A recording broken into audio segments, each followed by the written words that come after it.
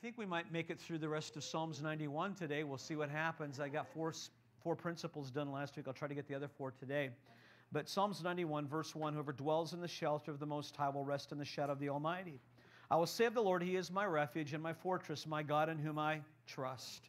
Surely he will save you from the fowler's snare, from the deadly pestilence. He will cover you with his feathers, and under his wings you will find refuge. It goes on to say, His faithfulness will be your shield and rampart. You will not fear the terror of night, nor the arrow that flies by day, nor the pestilence that stalks in the darkness, nor the plague that destroys at mid, uh, midday. A thousand may fall at your side, ten thousand at your right hand, but it will not come near you. Story told of John G. Lake, true story, when he was ministering in South Africa. He was called the Apostle of Faith. He went there really with just enough money to take himself, Thomas Hasselmack, and his family to get to South Africa. That's all the money he had. That was it. And so he went there, and you have to hear his whole story about how God had him in real estate, gave that all up, went to Azusa, got touched by Spirit of God, filled the Holy Spirit, and then he was called to South Africa.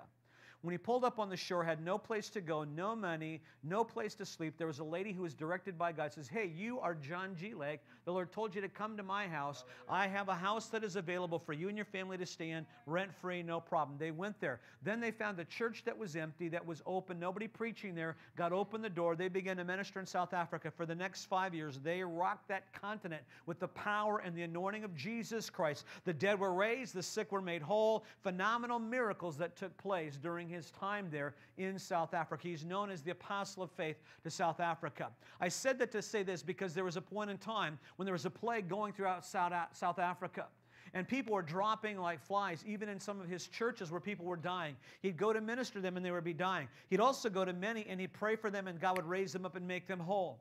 It was at one of these points in times that the people said, the leaders of that community says, well, how come this doesn't affect you? He says, because I believe that the moment that that virus or whatever it is that it touches my body, it's going to die because of the anointing and the power of God on my life. So what they did is they actually did a test. They took some of the plague that was there, they put it on his hand, they put it under a microscope, and the moment they put it in his hand, they watched that plague rather than, rather than spread, it died instantly to the glory of God.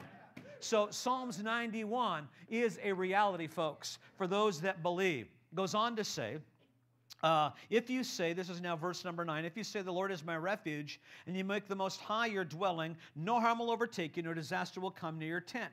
For he will command his angels concerning you to guard you in all of your ways. They will lift you up in their hands so that you will not strike your foot against a stone. I was talking with somebody this past week about angels. She says, I remember when I was about 19 years of age, I was involved in an automobile accident. My back of my head went through the glass, went through the windshield, and came back out. And I remember I, I had I suffered a head injury. And she says, I was like knocked out. But I remember distinctly there were like three angels that were ministering to me. And she says they were just standing there ministering. I can distinctly remember to this day. And she says, You know, it's an amazing thing. They didn't have wings. And I says, Well, why, why is that? Why is that a problem? She goes, Because I thought angels had wings. I says, You didn't read the Bible. Every time an angel shows up, they never have wings. See, a lot of people don't read the Bible, so they don't know what the Bible says. They just assume because, you know, touched by an angel or somebody else presents an angel with wings. I got to tell you, or like, you know, what was the what was the Christmas movie, you know, another something got its wings. Well, that's bogus. That sounds nice, but it's not the word. Now, seraphim and cherubim, who are types of angels and part of the angel, uh, angel hierarchy, yeah, they have wings, but most angels that show up and appear. Remember Moses, remember to Abraham, remember to Daniel, they didn't have wings. They were like you and I, they were in human form. They don't have wings. Okay, so let's just settle our theology here and get it established. That really made her feel good. She goes, wow, that even makes it more, you know, real to me. Going on, it says this Verse 12, they will lift you up in their hands so that you will not strike your foot against a stone. You tread upon the lion and the cobra. You'll trample on the great lion and the serpent. That's demonic and Satan and his entire realm that we're going to tread upon him. Praise God for that. Can I hear an amen? You all know Luke 10 19. Behold, I give you authority to trample on snakes and scorpions, overcome all. Everybody say all. All, all the power of the enemy, and nothing shall by any means harm you or hurt you. Verse 14 is where we are today. Because he loves me, says the Lord, I will rescue him. I will protect him, for he acknowledges my name. He will call on me, and I will answer him, and I will be with him in trouble. I will deliver him and honor him. With long life will I satisfy him and show him my salvation. Did you release the birds? Because I sure heard a bird chirping over there a minute. Was it above us? Is there a bird loose above us? You sure it's not the parakeets next door? They put those things out there every day. And one day they may be blasted by a shotgun and God might have to resurrect them. But anyway, they're annoying. If you've ever been here during the daytime, they put these parrots out next door.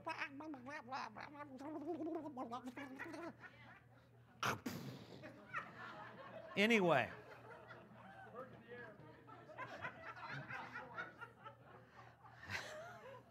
God took care of them through me. All right. Eight points that I talked about, four of them last week regarding the subject entitled Premium Benefits. Uh, our series entitled Total Security. This message is Premium Benefits. This is part two of that message, but last week I talked about rescued. In other words, what happens is because of God, and when we're abiding under the secret place, we're rescued, we're protected. Not only that, but we enjoy His presence and we are delivered. I want to pick it up today, or number his presence. And then number five today, I want to pick it up with the fact that we are delivered. We are delivered. So take a look, if you would please, once again at verse number 15, part C. I will deliver and honor him. I will deliver him and honor him. This word delivered here in the Hebrew means, means far above dangers which plague the world. Hold your finger here. Go to Isaiah, if you would, 43. Isaiah 43. It's a promise that you can claim. Our friend Dick Mills has ministered often to our church. And Dick says there's probably about 7,000 promises in the Bible or thereabouts. Here's one of them that you and I can claim as redeemed people of God in covenant relationship with the Lord. Isaiah 43, verse 1 says this But now, this is what the Lord says He who created you, Jacob, who formed you, Israel. You could put your own name in there. You could say, He who created you, Dawn. He who formed you, Jim. I have summoned you by name. You are mine, Luann. Here's what he says in verse 2 When you pass through the waters, I'll be with you. And when you pass through the rivers, they will not sweep over you. When you walk through the fire, you will not be burned. The flames will not set you ablaze. Why? He says, I'm promised to deliver you. It doesn't mean you may not go into some fire. Fire refines, fire can be heated up. But he says, when you go into that thing, I'm going to be there right in the middle with you. And it reminds me of Daniel chapter 3, the story of the three Hebrew children, Shadrach, Meshach, and Abednego. My wife corrected me last week. He says, You assume something. I said, What was that? That all these people understand these stories that you talk about, these Bible stories. She says, You know what? It ain't so anymore because not everybody went to Sunday school. So don't assume that everybody you're talking to understands these stories or have heard them. I've heard them growing up in Sunday school. They're powerful truths of the living Word of God. And this one in Daniel is the story where Shadrach, Meshach, and Abednego. What happens is their names actually had been changed from Hebrew names, they've been given Babylonian names that are the counterpart thereof.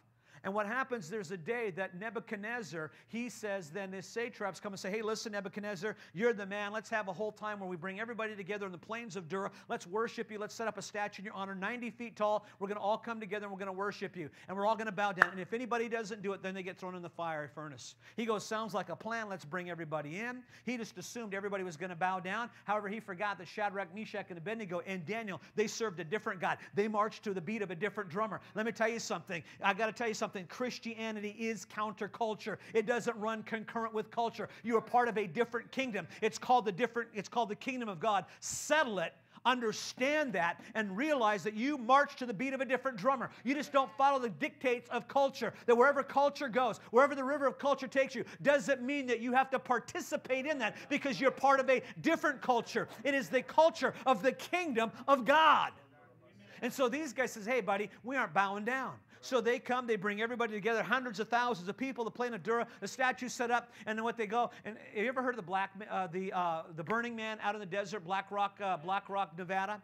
It happens every year in Black Rock, Nevada. Hundreds of thousands of people come from all over the place. They set up a great big statue. It's called the Burning Man. And on the final day, they burn it down. Now, uh, leading up to this, what they all do is they sell their wares. It's kind of a whole new agey thing. So they have new age booths. People run around naked if they want. It's a free for all. No, it's true. It's serious.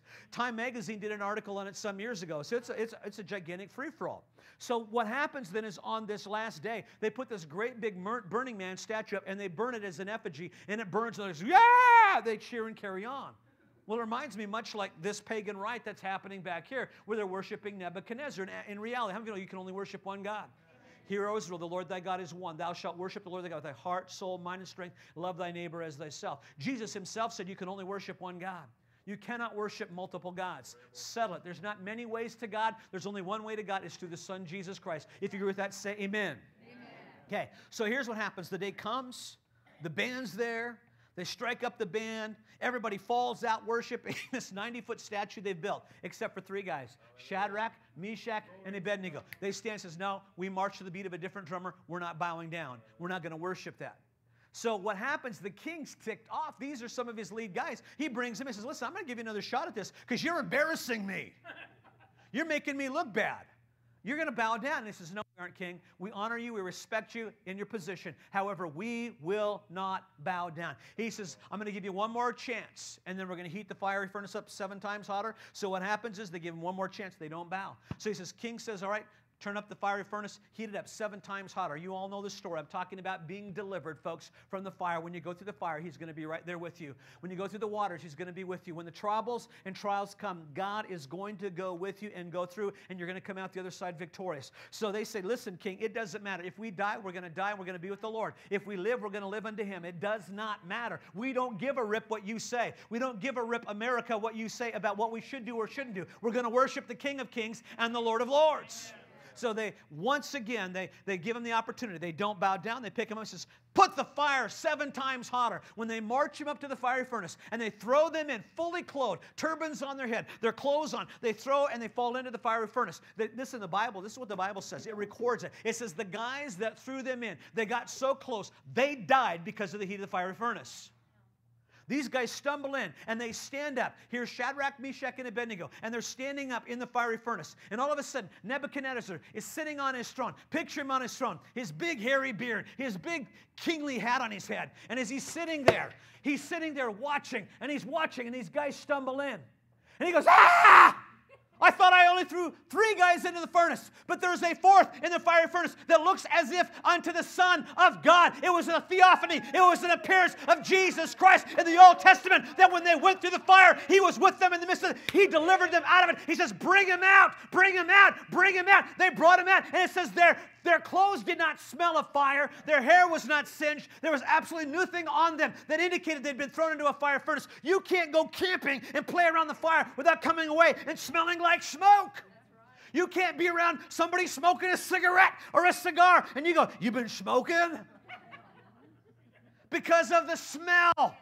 These guys didn't smell like smoke. Nebuchadnezzar says, Their God is the true God, the true and the living God. I believe we're moving into a time when the church has to be the church. We can't follow the dictates and the patterns of the culture around us. We follow the dictates and the culture of the kingdom of God. Do I hear an amen? Because when we do, He delivers us, He brings us out of the swamp of despair, out of oppression, depression, sickness, disease, infirmity, financial disaster. God wants to bring us out. Do I hear an amen?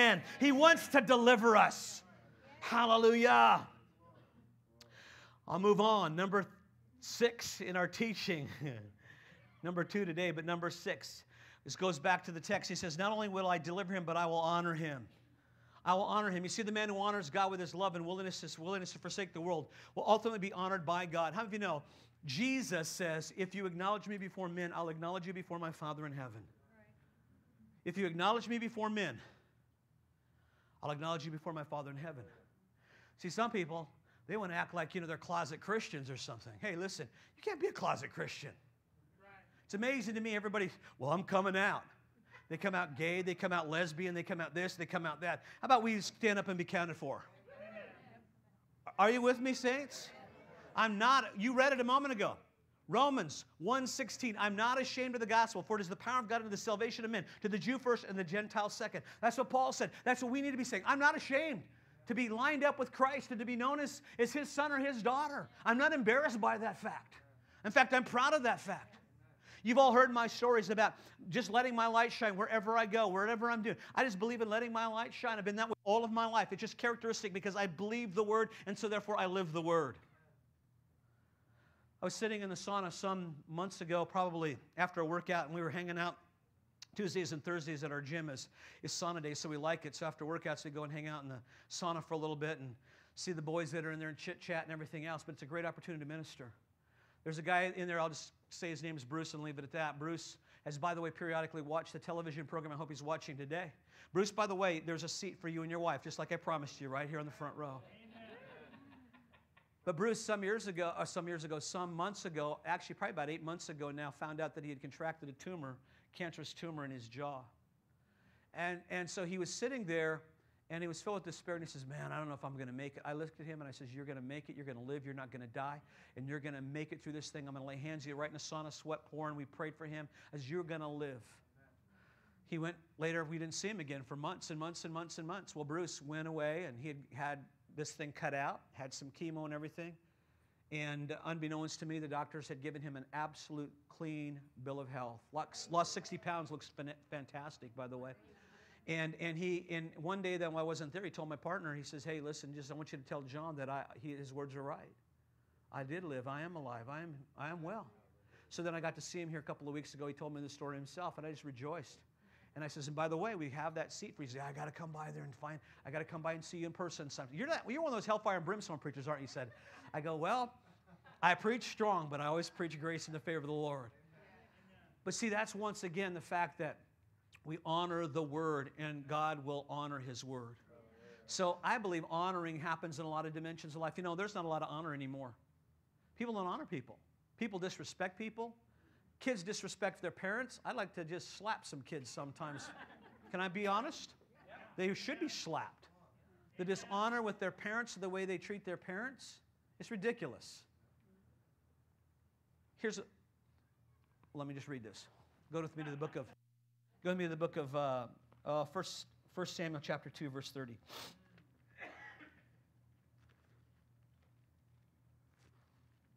Forgot where it was. There it is. 1 Samuel chapter 2, verse 30. We all heard a little Samuel? Who heard the Lord? In 1 Samuel chapter 2, verse 30, here's what it says.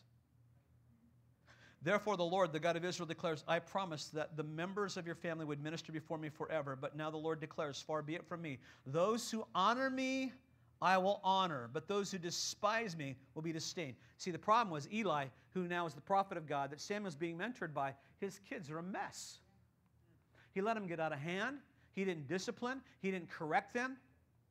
And if you've been around me at any length of time, I just believe you ought to, parents, you have a responsibility to train your kids. The Bible says in Proverbs 22 6, train up a child in the way they should go when they're old, they're not depart from it. I believe you have a responsibility to be your kid's parent, not your kid's friend. There'll come a time when they become adults, you'll be friends then. But right now, you're their parent. And you must parent them. That means, that means correction needs to come. In fact, in the book of Hebrews, chapter 12, I'm meddling right now, but I'm going to just keep right on going down the road. In Hebrews chapter 12, where it talks about discipline that God loves, in other words, you know you're, you're a son or a daughter of His because you get, you get disciplined. The word there is, is child train, is the word discipline. It means to child train. Child train doesn't mean you always get slapped upside the head, doesn't mean you always get swatted on the bottom.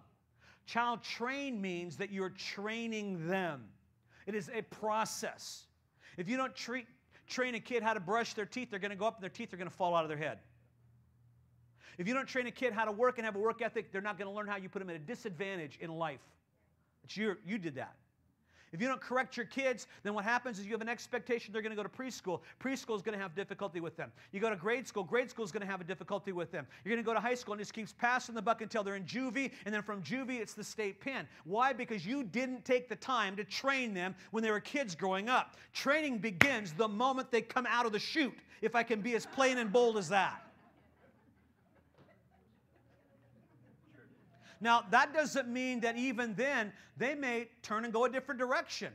I've seen that happen where parents have done everything that they knew to do to bring them up, and their parents, the kids just went sideways. Why? Because we all have a choice. I'm not condescending or condemning anybody. Are you hearing me? I'm here for your victory. I'm here for them, I'm here for them to be, I'm here for those kids to be the men and women of God that God's ordained them to be. Do I hear an amen? So you got to call the destiny, the gold in your kids forth. You got to believe in them. You got to speak to that. Say you're a man and a, you're, you're a man or a young woman of God. You got to call forth the blessing on them. You got to call your kids blessed. You got to say that you're going to marry godly, godly spouses. For my son John Mark, who's there today, who celebrates his birthday today, he's 26 years young today. What happened is, is that when the when when he was in his mother's womb, I would kneel down to his mother's womb. I would prophesy. I say, you're going to come forth and you're going to marry a godly woman and you're going to have godly children and you're going to raise them in the nurture and the admonition of the Lord. Guess what? He married a godly woman, and the godly parents are sitting right here today because we prayed for that to happen. I'm sure they prayed for their daughter to marry godly, a godly son uh, as well, or a godly man, there you go, as well and that they would have godly kids and they would be trained up in the way of the Lord. See, we can set into motion. The Bible says in the book of Exodus, it says in Exodus chapter 20, it talks about the sins of the father are passed on to the third and fourth generation, but it says blessing to the thousandth generation of those that love him are called according to his purpose. It's time to shift America, and it's not going to happen by placards. It's not going to happen by protest. What's with the knotheads in New York City? Give me a break. It's got to happen in the heart. The change has to happen in the heart. That's why they got to be born again. When they're born again, they have a shift in their heart, they have a shift in their mindset, and they begin to walk in the principles of the kingdom. And then they begin to act like the redeemed of the Lord that say, So. See, because unbelievers are lost, all they know how to do is sin. So when they sleep around or they drink or they do drugs or whatever they do, all they're doing is they're saying, I'm looking for something to fill that void in my life. And it can only be found when they find Jesus Christ as their Savior and Lord. So you know what? You can't condescend and condemn them. Oh, you no good, dirty, rotten sinner. They already know that. Give them a break. You need to call them into their eternal purpose and destiny. I see you as a man or a woman of God serving the Lord Jesus Christ, going to church, plugged in, giving of your time, energy, and resources of the kingdom of God. Call forth that which you believe over, not what they already are. It takes no, it takes no prophetic word to see what's already there. Come on, I'm preaching better than you're amening right now. We're talking about honor. We need to show honor to one another.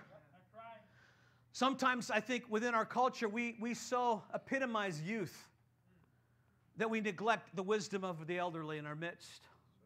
We brush them aside. They're nonplus. They have nothing of value to give, when in reality, they have great wealth of information to draw upon. I praise the Lord for the men of God that I've been able to, in my lifetime, bring around me, whether through biographies or in person. I think of Dick Mills every time he's ever come.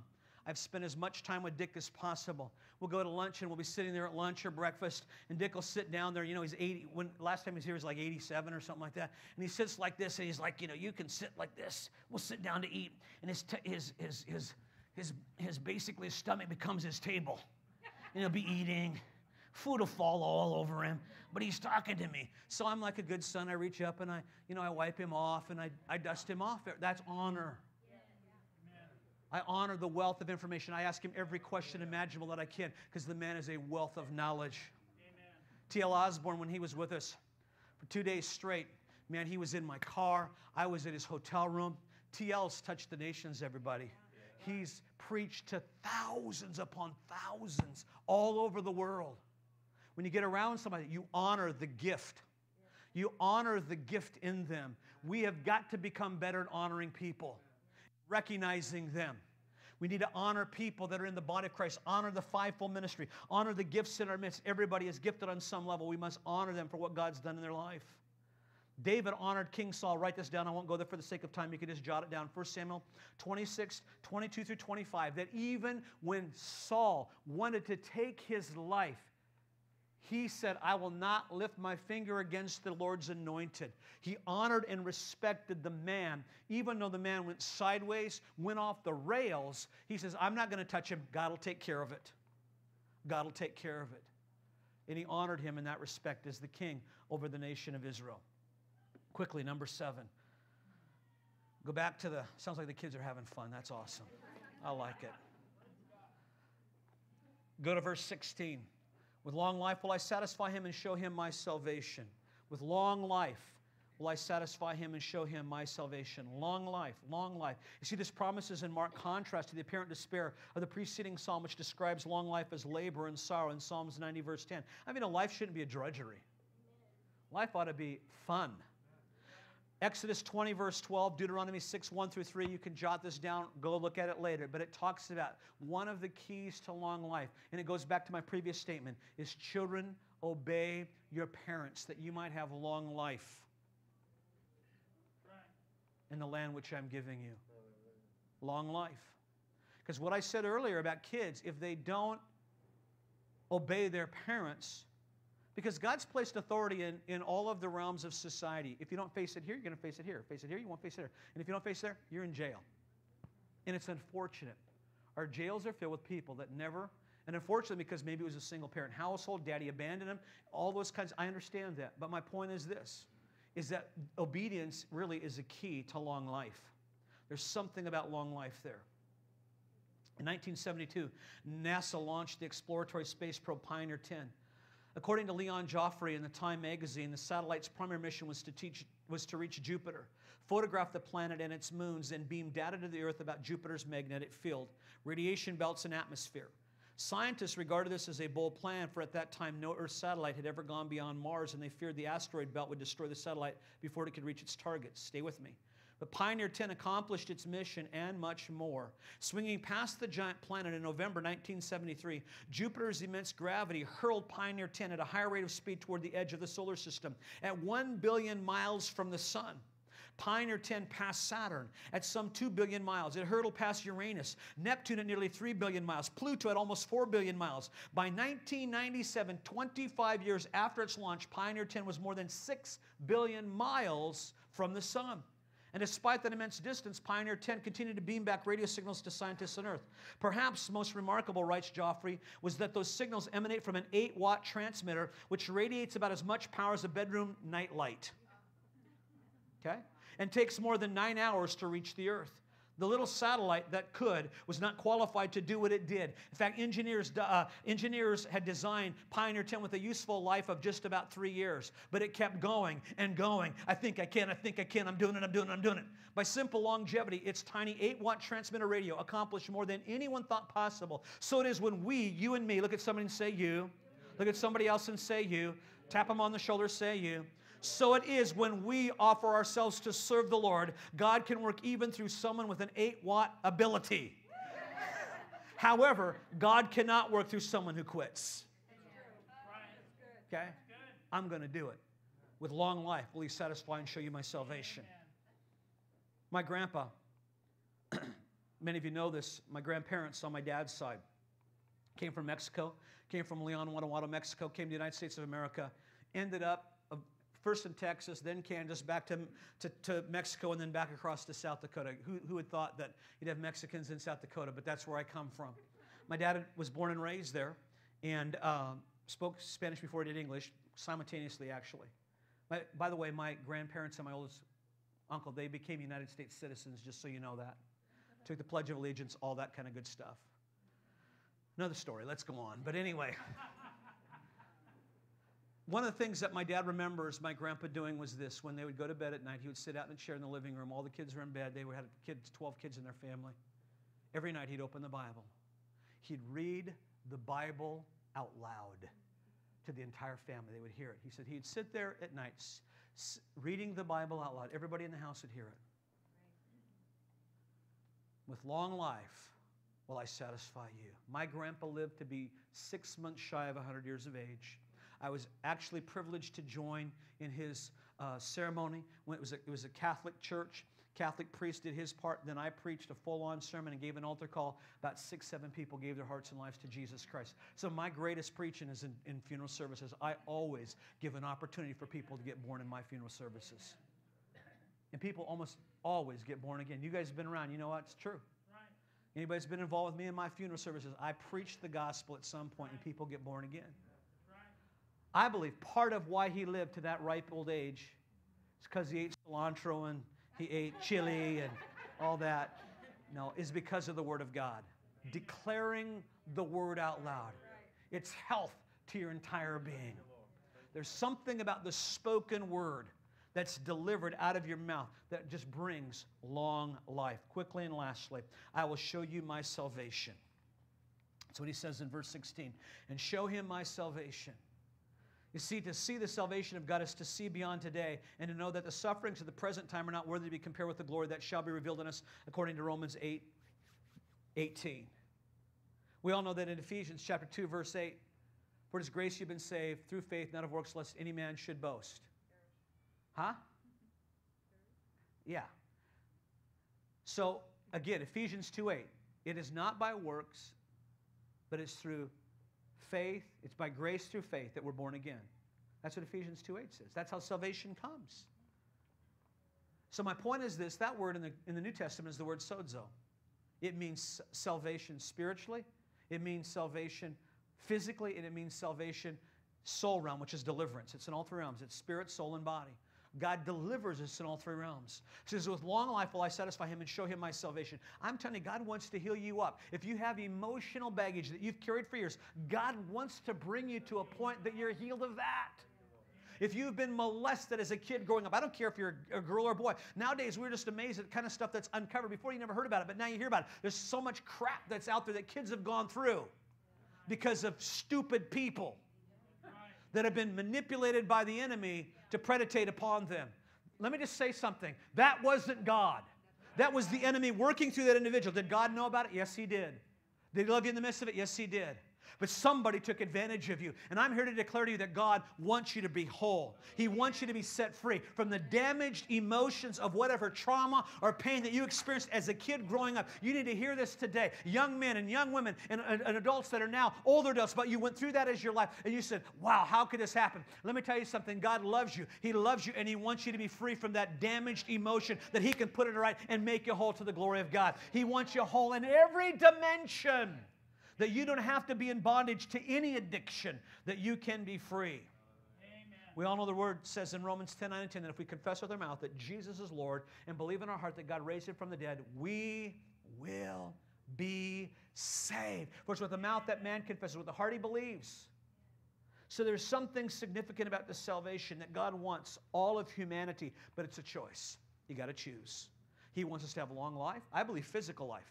And I don't mean broken down life. I don't mean, oh, I'm struggling around. You know, I just believe go to bed, go to sleep, go to heaven. Live to be 120, go to bed, go to sleep, go to be a Jesus until, unless he comes before that. Then we're going in the rapture. Praise God.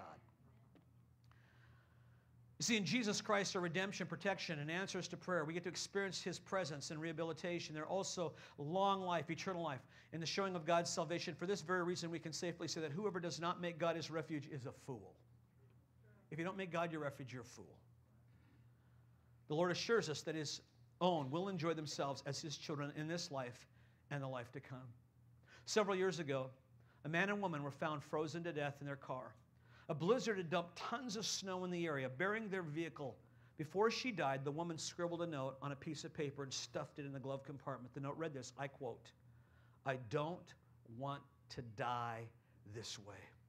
Tragically, less than six feet from their icy grave was a stranded bus whose festive passengers remained warm throughout the night, enjoying the heat because the diesel just kept running. Six stinking feet away, and they could have got through and got there and found safety and salvation. See, salvation is so close to everybody, it's available. As I read that, I was reminded of a friend of mine who lives in Southern California. His mother in law is up in years. Cancer is riddled her body. Gone through everything that doctors can do, and they say there's really nothing more we can do. He said something to me the last time that he was up here that just rocked my world. She says, she says, I want to live. Here's a woman that's an elderly woman, sick in body, and says, I want to live. I want to live. I said, man, there, something leapt up in me. He says, I'm praying for her because that's the indomitable spirit that every believer needs. I want to live. Think about it. Larry Hagman just came out, 80 years of age, has cancer, had a liver transplant. That's, that's pretty cool. Now he's got cancer and he still wants to live. I just think there's something within people. We want to live. Yes. Amen. Jesus says, I've come to give you life. John 10 10. And that life, how? More abundantly. Supermeno. Supermeno. Hupermeno. It means to be superabundant. That's the kind of life that God wants us to live. He wants us to live that kind of life. I'm here to declare to everybody listening to me in any capacity that God wants you to live life on His terms for His glory and for His honor.